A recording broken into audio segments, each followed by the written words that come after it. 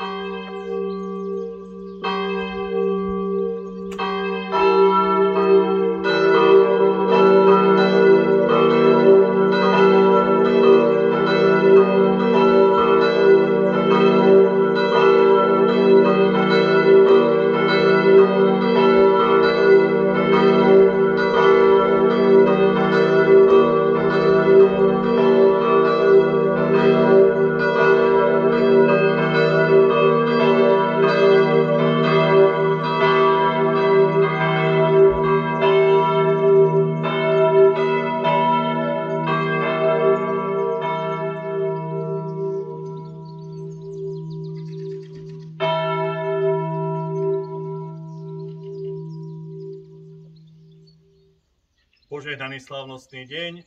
sestry, drahí bratia, Božia milosť nás prebudila do tohto sviatočného dňa Kristovho vzkriesenia a my sa schádzame pred týmto evangelickým chrámom vzkriesenia pána našej cerocirkvi v Dúbrave, odkiaľ budú prenášané slávnostné služby Božie. Dovolte mi, aby som privítal na tomto mieste môjho vzácného priateľa, spolužiaka Joška Paceka, evangelického zborového farára v Krevnici. Milý Joško, vítaj tu v Dúbrave, dnešný slavnostný deň. A Ďakujem.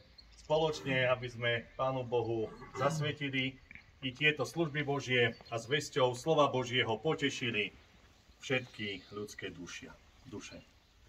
Pokoj vám, drahí bratia a drahé sestry. Som rád, že môžem byť dnes v tomto chráme a slúžiť možno jedný z najkrajších služieb Božiek v roku na ten najväčší kresťanský sviatok, akým je vzkriesenie pána spasiteľa Ježiša Krista. Pokoj vám.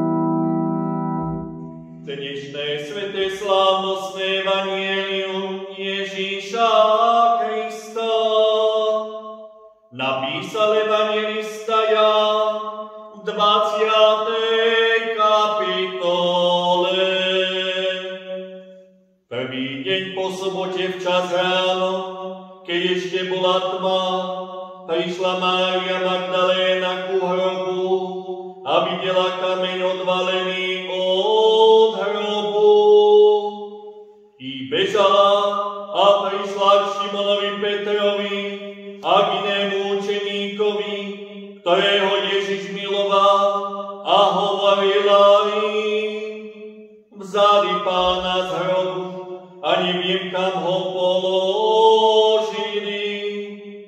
Peter a ten druhý učeník pobrali sa teda a šli ku hrobu. Obaja bežali spolu, ale ten druhý učeník predbehol prišiel prvý ku hrobu. Nahnúť sa videl tam plachty ležať, ale nevošiel dnu. Tu prišiel aj Šimon Peter, ktorý ho nasledoval, vstúpil do hrobu a videl tam plachty ležať. Ale šatka, ktorú Ježiš mal na hlave, nebola medzi plachtami, lež osobitne zvinutá na inom mieste. Vtedy vošiel aj ten druhý učeník, ktorý prišiel prvý ku hrobu a videl a uveril.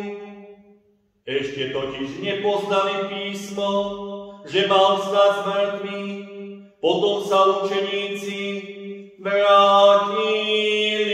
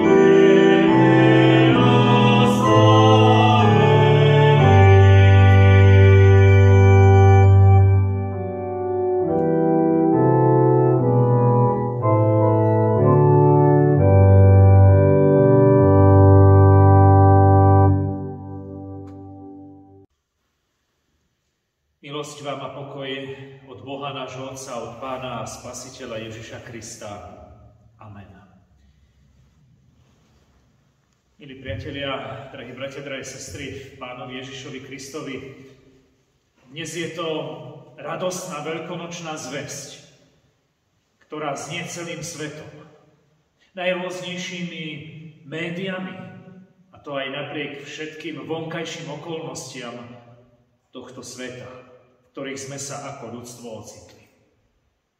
Už po druhýkrát o sebe nemôžeme tento najväčší, najdôležitejší, najkrajší a najradostnejší sviatok sláviť spolu v chráme, ako spoločenstvo veriacich v živého a vzkrieseného Pána a Spasiteľa Ježiša Krista.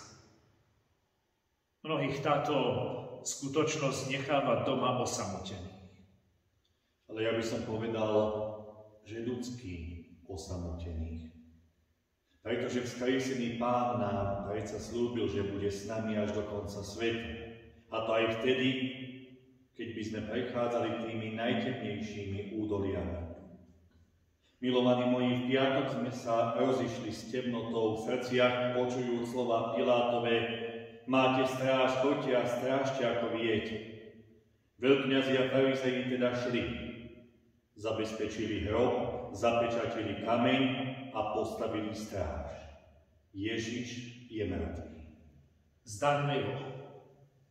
Pretože napriek všetkým aj vtedajším okolnostiam sveta náhle temnota smrti ustupuje jasnému ránu vzkriesenia. A tu prichádza celkom iná správa od hrobu. Ježiš žije. Ježiš porazil nepriateľa. Ježiš je víťaz. Smrť našla svoju smrť v kríži ukrižovaného. Nech sú teda dnes plné naše srdcia touto radosnou novinou Evanelia. A ono nám zazdieva aj zo skutkov svätých apoštolov z 13. kapitoly kde od verša 32. po 35. čítame tieto slova. Aj my vám zvestujeme Evanielium, že zaslúbenie dané Otcom splnil Boh nám, ich deťom, skriesiaci Ježiš, ako je napísané aj v druhom žalme, Ty si môj syn, ja som ťa splodil dnes. A že vzkriesil z mŕtvych, aby sa nikdy viac nevrátil do porušenia to predpovedal takto. Dám vám sveté zaslúbenie učinené Dávidovi. Preto hovorí aj na inom mieste, nedovolíš, aby tvoj svetý podľahol záhube. Milí brat Janko, milí bratia a sestry z domáceho cirkevného zboru, Partizánska Ľubča, ale aj vy, milí moji, z Kremnického církevného zboru, bratia a sestry v pánovi Ježišovi Kristovi. Apoštol Pavol hovorí, aj my vám zvestujeme evanelium, že zasľúbenie dané Otcom splnil Boh nám, ich deťom, skriesiac Ježiša. Takto brat Janko pred chvíľou čítal z knihy Skutky Apoštolov. Adresátmi týchto slov sú obyvatelia Pisickej Antiochie, medzi ktorých Pavol prišiel počas svojej prvej misijnej ceste. A v tomto meste obyvateľia nepočuli ešte, alebo len veľmi malá časť počula o Ježišovi, napriek tomu, že v tomto meste žilo mnoho Židov. V sobotu sa vybral Pavol do synagógy. Vedel, že tam nájde pomerne veľa poslucháčov. A dokonca vedel aj to, že bude mať možnosť v synagóge hovoriť. No počkaj, Jožo. Ako to mohol vedieť? To mohol v synagóge hovoriť ktokoľvek? Hociaký cudzinec? Veď synagogálne zhromaždenie sa riadilo presnými a presnými pravidlami. To ako keby na naše služby Božie v nedelu prišiel hocikto a začal len tak rozprávať. To by sa komu páčilo? No, samozrejme, Janko, že život v synagóge sa riadil veľmi presnými aj prísnymi pravidlami, ale taktiež bývalo zvykom, že predstavený synagógy dával možnosť prehovoriť cudzincom, ktorí navštívili sobotné zhromaždenie. A Pavol skutočne dostal možnosť prehovoriť, využil ju a povedal reč, v ktorej na dejinách izraelského národa ukázal, čo všetko a ako všetko smerovalo k Mesiašovi. Poukázal aj na to, ako Židia Mesiáša Ježiša Krista neprijali a nakoniec ako Boh povýšil Ježiša a dal v ňom spasenie. Môžete si to overiť, bratia a sestry, keď si doma prečítate celú 13. kapitolu skutkov Apoštolov. Apoštol svätý Pavol stretol skrieseného a živého pána Ježiša Krista. A vedel, že Boh sa v Ježišovi Kristovi sklonil nielen k svojmu vyvolenému národu, ale ku všetkým ľuďom. No a z toho vyplýva, že keď hovoril Židom, musel hovoriť ich reč. Preto aj tieto citáty zo starého zákona v našom texte však. Presne, Sám Pavol sa počítal medzi tých, ktorí poznávali veľké Božie veci na základe dejín. Nie celý izraelský národ pochopil zmysel svojich dejín. Len málo ktorí poznali, že spasenie v plnosti prichádza v Kristovi. Obyvatelia Jeruzalema, najmä vodcovia národa, nerozoznali význam Ježiša Krista. Odsúdili nevediac, že tým len splnili prorocké reči on. Strápený, pokorne trpel a neotvoril ústa ako baránok pred svojimi strihačmi. Bez a súdom bol odstránený, ale kto sa postará o jeho údel? Lebo bol vyťatý z krajiny živ, pre vinu svojho ľudu bol zbyt. Dali mu hrob s bezbožníkmi a so zločincami. Keď zomrel, hoci nespáchal násilie, ani nebol lsti v jeho ústach. Obetoval svoj život na smrť a počítaný bol s prístupníkmi, hoci on zniesol hriechy mnohých a zastúpil prístupníkov. Beru.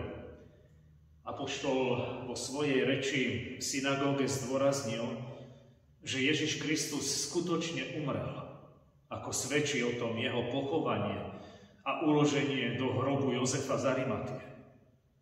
Ale svedčí zároveň o tom, že Kristus skutočne vstal z mŕtvych, ako to dokazuje fakt, že sa po svojom skriesení mnohým ukázal.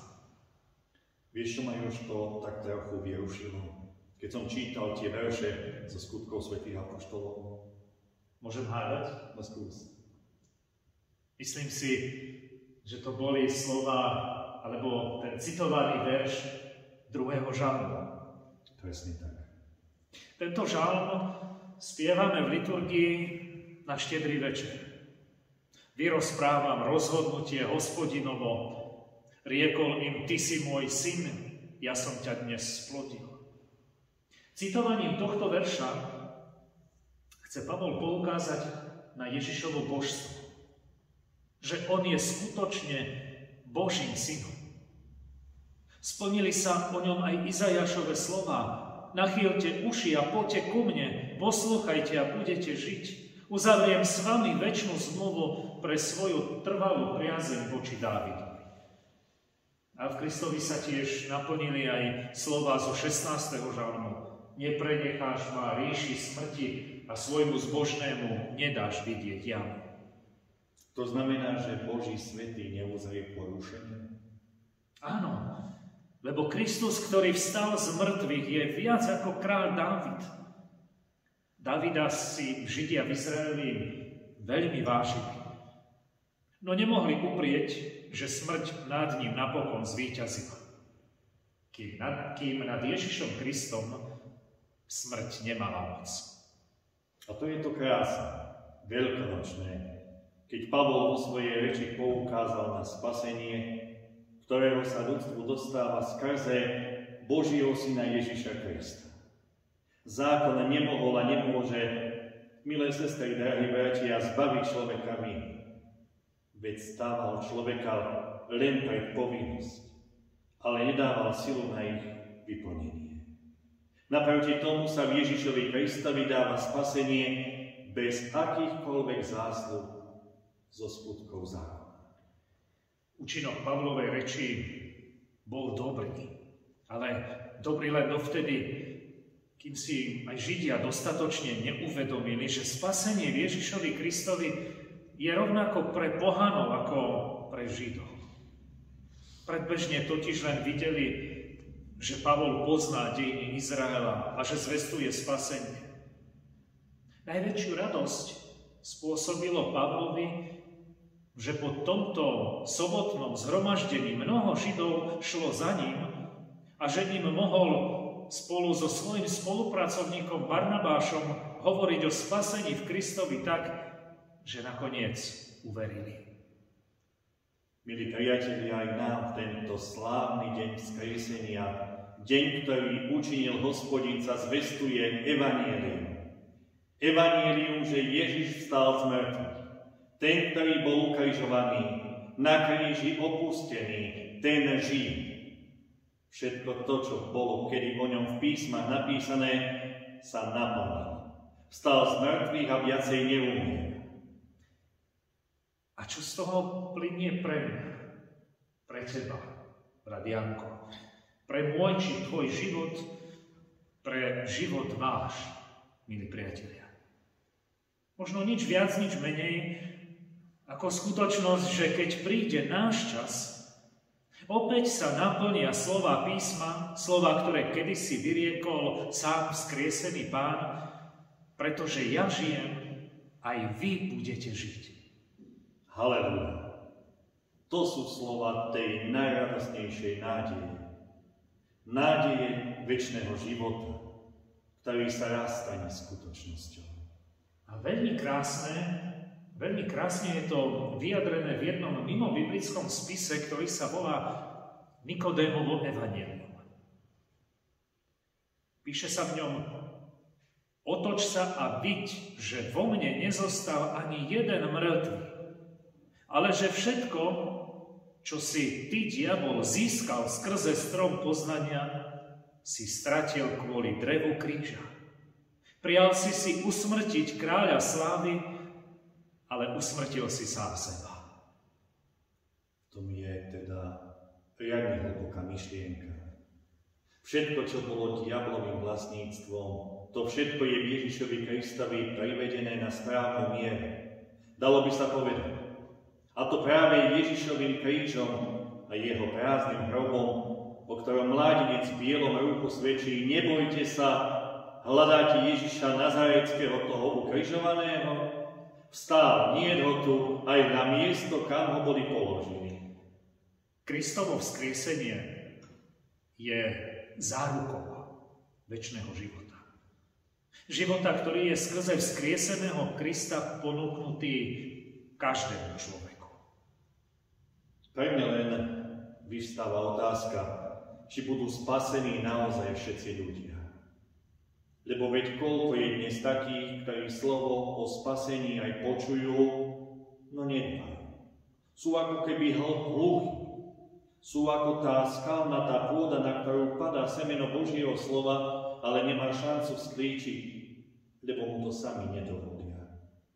A potom sú aj takí, ktorí by možno aj chceli so sebou niečo robiť, možno by aj uverili Ježišovi, len im to bráni množstvo pre nich dôležitejších vecí. Mám nápad, Janko. Modlíme sa za nich.